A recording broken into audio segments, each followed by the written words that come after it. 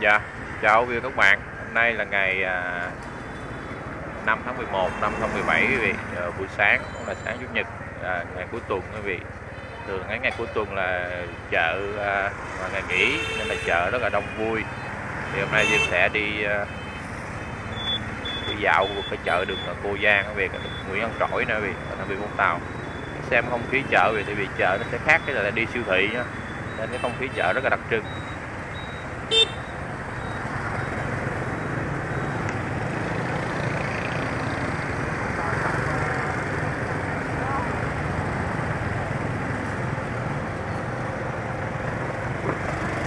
Dạ đi chợ thì nó sẽ vui hơn là đi siêu thị rất là nhiều. Bởi vì ta dạo vòng quanh chợ cô giang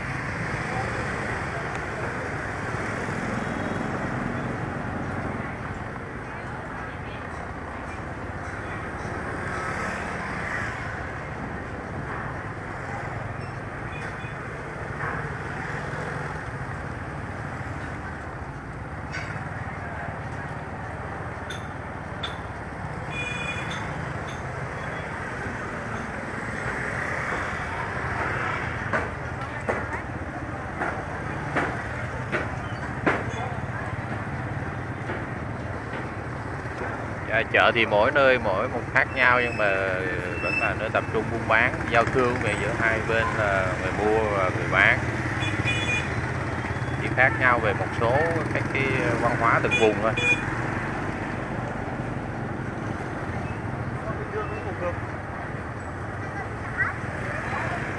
mà chợ thì à, rất là tấp nập vui cho nên là Diêm nó thích rồi.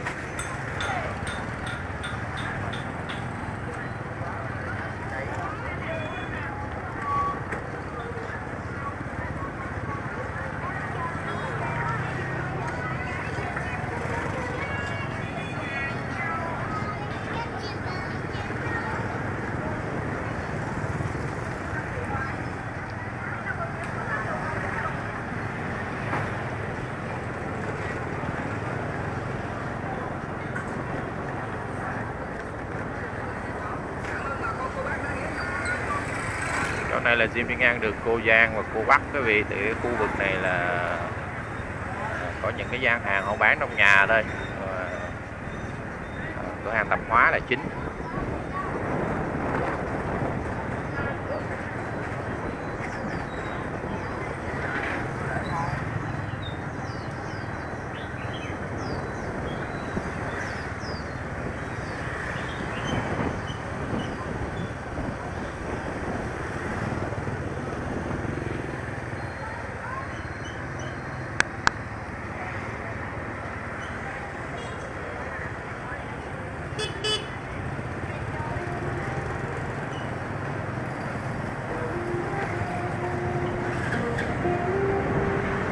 Dạ đoạn này thì sẽ đi qua đường Tú Sương, và ra đường Nguyễn Kim, ra đường Nguyễn Du đường bà Cu luôn.